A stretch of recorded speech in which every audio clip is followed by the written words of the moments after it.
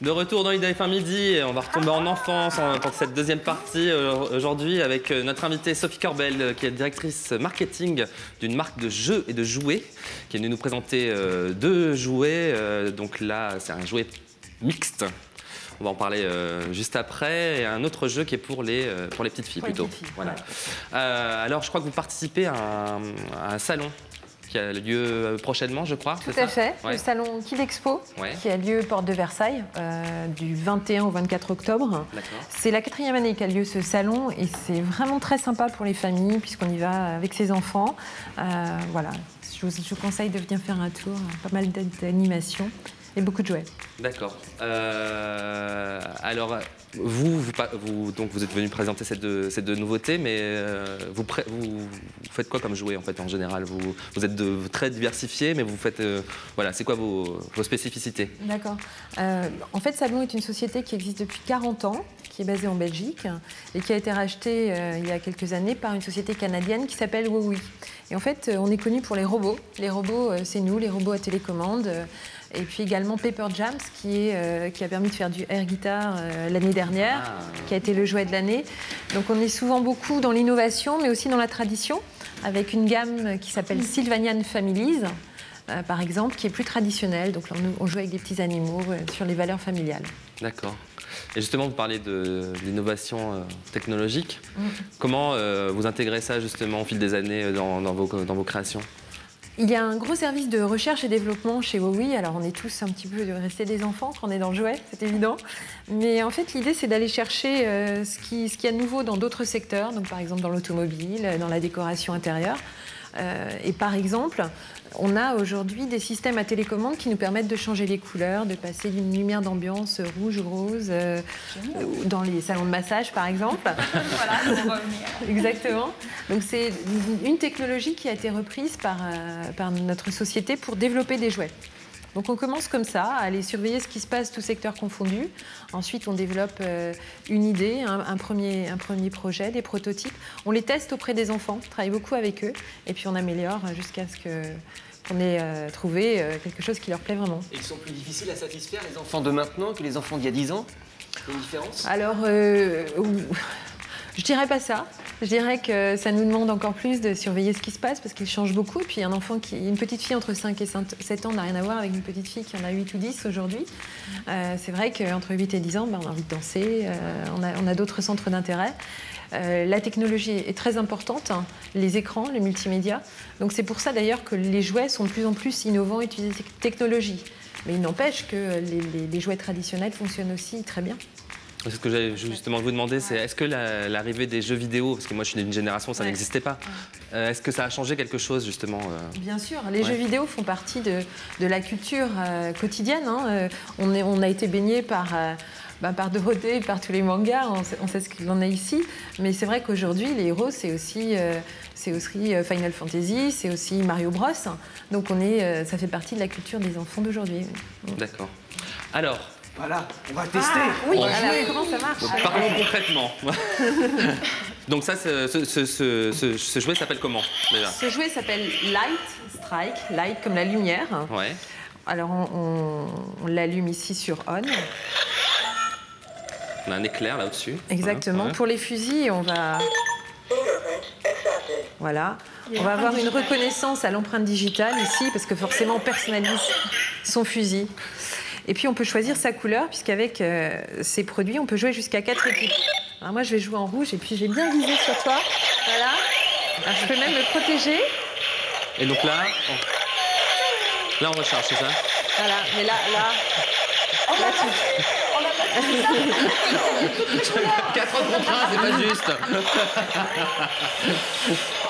Alors euh, voilà, pour choisir sa couleur, on appuie ici sur Team Select. Là, tu clignotes. Donc, en choisissant sur Team Select, voilà, Team Select.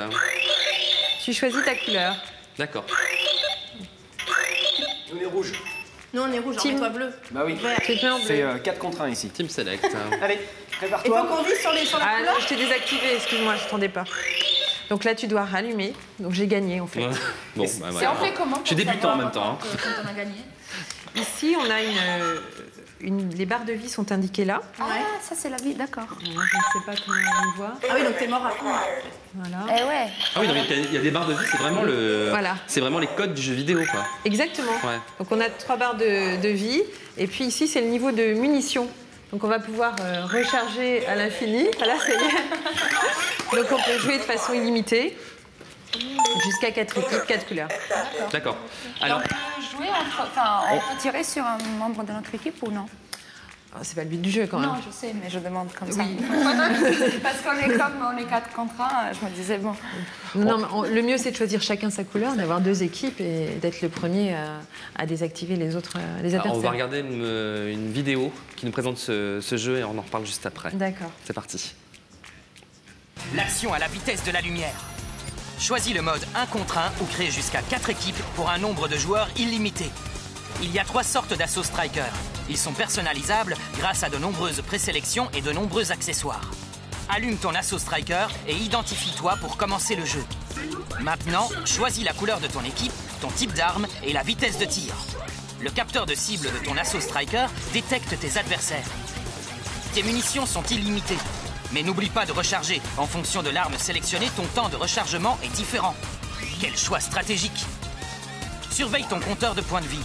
Quand il est à zéro, relance-le pour être à nouveau prêt à jouer. Si ton ennemi est trop menaçant, active ton bouclier et réduis ta vulnérabilité de 50%. Pour apporter de nombreux avantages tactiques à ton équipe, personnalise ton assaut striker grâce à de nombreux accessoires. Le système de tir grand angle te permet de viser plusieurs ennemis. Le système de tir rapide augmente le rythme des rafales. La lunette de visée te permet de tirer jusqu'à 30 mètres. Le détecteur d'ennemis repère la présence de tes ennemis avant qu'ils ne te trouvent. Penses-tu avoir utilisé la meilleure stratégie pour être le vainqueur ou pour faire gagner ton équipe? Avec Light Strike, l'action à la vitesse de la lumière. Donc ça fait, euh, ça fait beaucoup penser à tous les, jeux euh, de Laser Quest, même le paintball en fait, c'est un, peu le- un peu le même esprit en fait. C'est ça, voilà, exactement. Il y a eu le paintball, euh, ça existe toujours. Et les laser games ou laser tag sont des salles de jeux qui existent maintenant depuis les années 80 à peu près. On s'est inspiré de Star Trek. hein. Et on a près de 160 salles spécialisées en France quand même. Il faut savoir aujourd'hui que ça plaît tellement, ce loisir, ce nouveau loisir, qu'il faut réserver à l'avance. Ah oui, Et c'est voilà, donc euh, beaucoup d'anniversaires sont organisés. Et, et c'est dans ce but-là qu'on s'est dit tiens, on va faire des jouets qui permettent vraiment d'y jouer euh, chez soi euh, quand on veut. mais ça s'adresse peut-être aussi à des, des enfants qui n'auraient pas forcément euh, été dans ce genre de lieu en fait. C'est peut-être un peu plus adressé à des, des, des- des ados ou des adultes en fait finalement ces trucs-là. Donc là on s'adresse vraiment à des, à des- enfants quoi. Oui, le les salles, les salles de jeu, ce serait Voilà, plutôt pour des ouais. ados, des adultes. Euh, beaucoup d'enfants y viennent. hein. Ouais. Et ce qui est surprenant, c'est qu'il y a beaucoup de filles aussi, à peu près 40%. Oui, c'est ce que j'allais vous euh, demander. Ce, ce, ce jouet, justement, il, est, euh, il s'adresse aussi bien aux garçons qu'aux filles, en fait. Exactement. Donc déjà les salles, on a vu que le, le laser game plaît. Beaucoup d'anniversaires sont organisés pour garçons et pour filles. Il y a une mixité de jeux. Et ces jouets, ce qui a été euh, intéressant, c'est qu'on a eu le prix. Le prix Kid Expo, donc 300 enfants entre, euh, enfin filles et garçons, hein, ont, ont choisi euh, cette gamme de jouets comme le jouet de l'année. Donc euh, ça nous fait vraiment plaisir parce que c'est vraiment ce qui, ce qui nous permet de voir qu'on a un métier qui est, Enfin, c'est là que c'est intéressant quand les enfants nous disent oui, ça nous plaît vraiment. Et euh, filles et garçons euh, aiment beaucoup euh, ce type de jeu. Et donc là, pendant le, le salon dont on parlait, euh, il y aura un, un lieu dans lequel on pourra euh, tester. Voilà. Alors c'est secret, hein, on vous le dit là, on en- juste ici. En avant-première. euh, en avant-première. Donc en fait, on va avoir une tente gonflable de 100 mètres carrés dans laquelle il y aura un labyrinthe. Et on va proposer aux enfants et, aux parents, s'ils ont envie de jouer aussi, euh, de rentrer dans cette tente et de, de s'affronter. Donc euh, on va faire entrer deux équipes. Euh, Il n'y a pas besoin de, de réserver ou de s'inscrire, il suffit juste de venir et on essaiera de faire jouer un maximum d'enfants. Mais on fait aussi un tournoi particulier, spécial, avec des, des lots à gagner euh, le samedi matin à 11h, samedi 22 octobre. Et là, il faut s'inscrire sur nosjuniors.com. D'accord. De toute façon, on mettra toutes les infos sur notre, euh, sur notre site internet idf1.fr. Euh, c'est quoi le, le regard des, des parents sur ce genre de jouet, justement? C'est une très bonne question. Alors, euh, il faut savoir que les, les parents, ils sont déjà très contents d'avoir des enfants qui, qui sortent de chez eux, qui quittent un, un jeu individuel sur un écran euh, et qui vont aller euh, chercher les petits copains pour aller courir dans le jardin et, et jouer à s'amuser. l'intérieur aussi avec ça. On peut jouer aussi à l'intérieur, ouais. mais on peut aussi jouer à l'extérieur. Euh, les mamans sont particulièrement contentes de savoir que quand c'est à l'intérieur, on peut mettre un, un casque ici. C'est prévu, voilà, parce qu'on a du bruit. Euh, après, la, la question, c'est voilà, c'est un fusil, c'est un pistolet, Voilà. quelle est la position des parents? Euh, ce qui plaît, c'est que là, on a un, un look euh, qui n'est pas réaliste. On est vraiment, euh, et c'est ce qu'on a souhaité. On n'utilise aucun terme guerrier et le design est complètement issu des, des cartoons, des jeux vidéo. des films de science-fiction. Exactement. ouais. On n'est on pas dans quelque chose de réaliste, de réel. Donc, c'est pas parce que je joue un, pistolet avec un pistolet ou un fusil qu'on va passer à l'acte. Et d'ailleurs, soit on a un jouet, soit en jeu. Comme voilà. Enfin, le pistolet, de toute façon, ça c'est un jouet euh, voilà, qui existe depuis la nuit du temps, j'ai envie de dire. euh, voilà, les et les Indiens, c'est pas d'aujourd'hui. quoi. Exactement. Voilà. Puis au moins ils se dépensent, parce que c'est vrai que jouer devant leur écran, eh ben, ils bougent pas, là au moins ils bougent, ils éliminent, et puis voilà. Non, mais c'est vrai, c'est vraiment en le ils vraiment concrètement parce que justement, c'est pas derrière un écran qu'ils se parlent. euh, C'est ça. Donc c'est super sympa. Alors, si euh, là devant, euh, leur écran et des parents qui se disent, euh, qui sont un petit peu réticents à- devant ce genre de, jouets, qu'est-ce que vous pourriez leur donner comme, conseil? Qu'est-ce que vous pourriez donner comme argument justement par rapport à ce, jouet que vous présentez aujourd'hui? C'est euh, c'est un jeu d'action. Euh, les enfants euh, ont toujours aimé jouer un rôle. Euh, les contes de fées qu'on leur raconte depuis qu'ils sont tout petits parlent de chevaliers qui terrassent le dragon. Euh, Eux-mêmes qui se rappellent qu'ils ont été enfants et qu'un petit bout de bois où jouer au cowboy indiens, ça, ça rappelle de bons souvenirs. Euh, donc euh, voilà, on est dans ce, dans ce jeu de rôle. Euh, L'enfant va devenir un héros et construire ses stratégies. Et pour avoir vu une vingtaine d'enfants jouer récemment, il n'y a pas du tout de. c'est Pas, on n'est pas dans quelque chose de violent. D'ailleurs, il n'y a pas de projectile. On peut blesser personne. Et ils ont la banane, quoi. Ils s'amusent. C'est ça la différence avec le paintball justement. c'est que, Voilà, ils ne vont pas se blesser. Ouais. Euh, comment vous l'avez fait connaître justement? Comment vous l'avez euh, votre, votre jouet? Alors, euh, on a bien sûr un site internet Ouais. hein, euh, dans un univers très jeu vidéo. Et d'ailleurs, il y a un petit jeu vidéo, on peut commencer à s'entraîner, à viser des cibles, à, à- à compter ses points. Euh, et puis, euh, on va être présent à ce salon. Donc, c'est là qu'on invite euh, toutes les personnes qui le souhaitent de région parisienne, en l'occurrence, de venir, ou pas trop loin, de se déplacer pour, pour venir tester, pour venir jouer. Et on va être présent en, en télé, dans la presse. Ça commence déjà pas mal, ouais. Notamment ici. Notamment aujourd'hui. ici, merci beaucoup. Euh, alors on va parler d'un autre, de notre jouet euh, que vous nous avez ramené aujourd'hui, qui est beaucoup plus euh, girly. Voilà. on a des baguettes magiques, des fées, etc. Alors on a une petite vidéo qui le présente. On va peut-être regarder la vidéo d'abord et on en parle juste après. C'est parti. Bienvenue à Lightopia, le monde enchanté des sprites où tout débute avec la baguette magique. Grâce à elle, tu peux capturer les couleurs de presque n'importe quelle surface et les partager avec tout le monde de Lightopia. La bibliothèque des couleurs. La bibliothèque a 10 couleurs, mais tu peux aussi en ajouter jusqu'à 50 nouvelles et illuminer les sprites. Les Light Sprites peuvent même se partager les couleurs entre elles. Mais une sprite rebelle va vouloir chipper les couleurs. Il n'y a que la baguette magique qui va pouvoir lui enlever son mauvais sort. Les sprites adorent se retrouver dans de nouveaux endroits dans Lightopia pour s'amuser et s'illuminer de toutes les couleurs. Il y a la balançoire, le moulin à vent, la fleur et la cascade. L'arbre Tree of Light est le centre de Lightopia où les sprites se rejoignent et passent du temps ensemble sur leur nacelle, sous la canopée ou sur le balcon. Chaque playset vient avec un animal light pet, une bague fleur, des fleurs décoratives et un chemin qui connecte tous les playsets pour créer un univers rempli de couleurs et de lumière. Rejoins les sprites et illumine ton monde de toutes les couleurs. Alors, de quoi s'agit-il donc? Alors là, il était une fois. On est dans le monde de Lightopia, en- euh, où vivent des petites fées qui s'appellent Light Sprites. Et dans cette communauté où il y a cinq, cinq petits personnages, chacun avec un pouvoir spécifique, donc l'une est responsable de- des fleurs, l'autre de la lumière des étoiles, etc. La petite fille elle-même, qui va jouer, va devenir une des fées dans cet univers. Donc euh, la baguette magique est vraiment euh, celle qui donne vraiment du pouvoir à la petite fille. La bibliothèque des couleurs. Choisis une couleur ou ajoute une nouvelle couleur. Donc comment ça fonctionne? Donc on a déjà beaucoup de, de lumière, de couleurs dans cette baguette magique, mais on Oui. peut aussi aller en chercher d'autres. Sur un arc-en-ciel. Sur euh, un arc-en-ciel de la caméra. couleurs, oui. exactement. Voilà. Voilà. Donc on va aller chercher euh, un, un bleu par exemple. La couleur monte jusqu'en haut et puis on va pouvoir changer la couleur de, de notre petite fée. Donc, ça y est. Je sens que Olivier a adopté ce nouveau jouet. Donc l'intérêt de ce jeu, donc euh, effectivement la baguette change, euh, va changer la couleur des, des petites sprites, mais les sprites entre elles vont aussi pouvoir euh, interagir. D'accord. Euh, Qu'est-ce qui se passe dans cet univers? C'est que bon, le thème des fées euh, plaît beaucoup aux petites filles depuis toujours. Là, on est sur un thème traditionnel. Voilà. Ça fait de la musique. Ça, fait de la musique, des lumières. Et, et ce qui plaît aux petites filles, c'est de se raconter des, hi- des histoires. Ça, c'est vraiment. Là, on est vraiment sur des petites filles à partir de 4 ans jusqu'à 7 ans. Euh, euh, donc, elles s'intéressent moins aux stars. Les plus Voilà. grandes aussi. plus, hein. Plus. Plus grandes aussi. Voilà. Et donc, ce qui est assez magique, c'est tiens, elle est en rouge, cette petite sprite, donc elle est en colère. Euh, Alors non, je vais lui donner, je vais lui donner de la joie, je vais lui apporter du, du jaune, et puis voilà, tout ira bien. Voilà.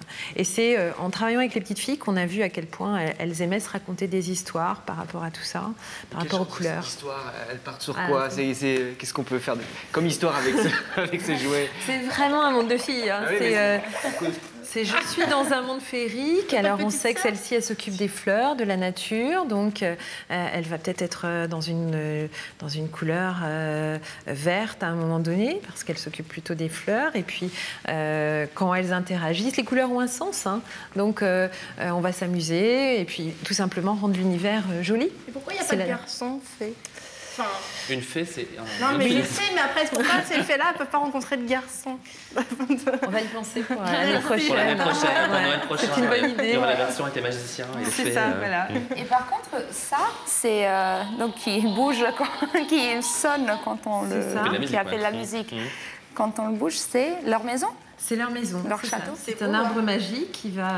Ah, c'est Qui un peut tourner. magique. hein. Vous allez vous Et demander voilà. justement. Changer de couleur, en Et, fait. et on les fait changer de couleur et euh, c'est là qu'elles se reposent toutes ensemble. Alors on a jusqu'à cinq petites fées. Alors ça veut dire que euh, qu'aujourd'hui, euh, les petites filles, elles ont besoin aussi de quelque chose de beaucoup plus technologique ou est-ce que les poupées beaucoup plus classiques, ça fonctionne encore? Ça fonctionne encore très bien, Ouais. les poupées, et heureusement. Euh, les, les poupons ou les poupées mannequins, euh, c'est vrai qu'on aime aussi beaucoup les petits jouets qu'on prend dans sa main, qu'on collectionne, qu'on transporte un peu partout. Après, euh, l'innovation est, est une demande, euh, c'est- sûr, surtout si elle apporte quelque chose. Là, on apporte une valeur de jeu qui a été testée dans plusieurs pays en Europe et aux États-Unis, où vraiment elles sont dithyrambiques sur des histoires qu'elles imaginent avec ces couleurs et ces, et lumières. Et il y a plus d'influence chez les garçons, chez les filles, de, justement de l'univers des jeux vidéo, de la technologie? La technologie? Ouais. Euh, ça se retrouve un petit peu partout. hein. Sur les, les- les tablettes, par exemple, les tablettes tactiles euh, sont proposées à des petits et ça plaît beaucoup d'avoir des livres euh, qui permettent de lire. Donc, euh, non, pas, en Pas plus, pas plus chez l'un que, que chez l'autre. Euh, Est-ce qu'il y aura d'autres euh, nouveautés justement? Il y a Noël qui approche là, dans, on y est dans deux mois, un peu Mhm. plus de deux mois. Qu'est-ce qu'il y aura comme euh, autre, Autre, autre nouveauté nouveauté sur, Ouais. Eh bien, euh, on a toujours cette- ce mélange entre des jouets innovants et traditionnels. Euh, c'est vrai que les parents vont souvent se rassurer en achetant des, produits plus traditionnels. Les jeux de société plaisent toujours, euh, euh, même des jouets en bois ou des thèmes assez traditionnels. Je parlais tout à l'heure de- des valeurs familiales. Donc, on reproduit avec une petite maison un univers, un quotidien. Mais aussi, il ne faudra pas oublier que sur la liste de Noël que, que feront les enfants, les trois premiers jouets sont- seront sans doute des jouets assez tendance ou innovants. Donc euh, ce système de capteur là, comme la- avec la baguette magique, Voilà. vous l'utilisez dans d'autres, euh, sur d'autres euh, jouets aussi? C'est- ça, ça- ça fait partie des. euh, On l'utilise sur ces deux jouets, la gamme de Ouais. le jeu de laser game et puis, euh, et puis les, les light sprites. D'accord. Voilà. Où est-ce qu'on peut s'en procurer? En tout cas, dire au Père Noël, euh, où est-ce qu'il pourra en Voilà. trouver facilement Tout à fait. Alors, vous allez le trouver dans, dans tous les magasins de jouets et, et tous les rayons de jouets euh, de France. hein, euh, voilà. Dans les supermarchés, partout. Dans les supermarchés, dans les magasins spécialisés. D'accord. D'accord. Voilà, j'ai peut-être un pouvoir magique contre la toux, je ne sais pas.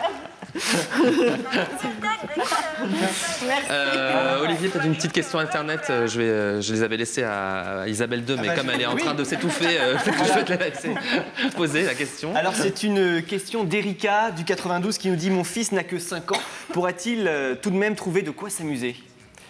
Avec, euh, même s'il a 5 ans, on avait dit 4 ans hein, pour, euh, pour Oui, ce jouet-là. un petit garçon de 5 ans euh, pour aller euh, au, au salon, c'est ça la question Oui. En allant au salon? Ah oui, bien sûr. En fait, le salon euh, Kid Expo, c'est euh, euh, plusieurs espaces et il y a un hall entier, entier dédié aux, aux jeux et jouets. Donc c'est l'occasion d'aller voir ce qui se passe, d'aller tester, donc d'aller avec son enfant voir quels sont les jouets de, de cette année. Très bien. Une autre question C'est une question d'Erika. Oui, une autre question de Pauline de Paris qui nous dit Peut-on se balader sur le salon tout en laissant ses enfants s'amuser avec les attractions? Oui, Euh, je ne le conseillerais pas. hein. Euh, 120 000 visiteurs, c'est beaucoup. Euh, Deux halls et puis des, des animations extérieures. Et puis beaucoup d'animations sont proposées en famille. hein. C'est un salon familial. Donc euh, allez euh, tester un atelier de cuisine avec vos enfants. euh, allez faire une partie de laser game sous la tente. Vous allez bien vous amuser. Voilà ce que je conseillerais. Est-ce qu'on peut y aller nous aussi Oui, si vous êtes sage. D'accord. On y va, Ludo Très bien. Alors, on va rappeler euh, les dates et le nom de, de- de ce salon donc, où seront présentés ces, nouveaux jouets. Ouais. Alors le salon Kid Expo commence le vendredi 21 octobre et termine le lundi euh, 22 24 octobre. Donc, C'est à la porte de Versailles. Porte de Versailles, hall 6 et 8. Et euh, bah, venez nombreux. Le vendredi, c'est une journée gratuite. Et puis, euh, moi, je propose en tout cas, si vous ne pouvez pas venir le vendredi, euh, de faire gagner quelques places euh, pour le week-end. Super. Donc, on- si euh, on veut se procurer ces jeux, on va peut-être rappeler leur nom également. Tout à fait. Donc, Light Sprites. Les sprites sont des petites, euh, petites fées, des, petites, euh, des petits elfes. Et puis, le jeu de laser game s'appelle Light Strike. Voilà. Très bien. Eh ben, merci beaucoup, Sophie. Merci. Euh, on, va se, on va retrouver dans quelques instants euh, Isabelle II et Olivier pour euh, IDF1, ID Club. J'allais Oui, dire- voilà, dire, dire n'importe quoi comme Voilà. d'habitude. on va peut-être euh, regarder la nouvelle Star Mystère. Il y a une nouvelle Star Mystère depuis quelques jours là, Oui, je depuis crois. quelques jours, ça y Depuis est. quelques jours. Alors, est-ce qu'elle arrive la On Star Mystère avoir du mal. Elle est là. Voilà. Ah bah. Elle a un peu euh, mon épaule dans son œil, mais c'est pas grave. voilà. Hop, c'est mieux comme ça. Voilà. Donc si vous avez euh, des idées, n'hésitez pas à appeler dès à présent le 0892 780 777. Bien. Olivier et Isabelle II seront Et ravis de vous on sera avoir. armé aujourd'hui, donc Oui. faites Ah, attention. ah, on, va Soyez peut-être, sages. on va peut-être vous enlever les pistolets pendant la pause. hein. D'accord.